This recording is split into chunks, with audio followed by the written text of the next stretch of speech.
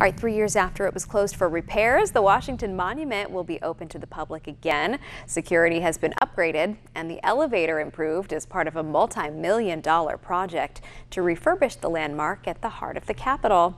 Here's Dan Shuneman. Standing 555 feet tall, the Washington Monument towers above the nation's capital.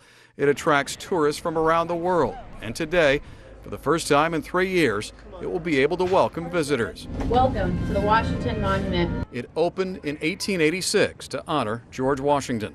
But age and a 2011 earthquake took a toll, leaving cracks and other damage to the landmark It had to be closed for repairs. It opened again in 2014, but the aging elevator often stranded visitors, and the monument was closed again. But now, what we did over the last three years was pretty much completely refurbish this replaced all of the moving parts. The elevator has been modernized. My 22 years working here is the smoothest running elevator we've ever had. The security at the entrance has been enhanced, while the views are still spectacular. What's old feels new again.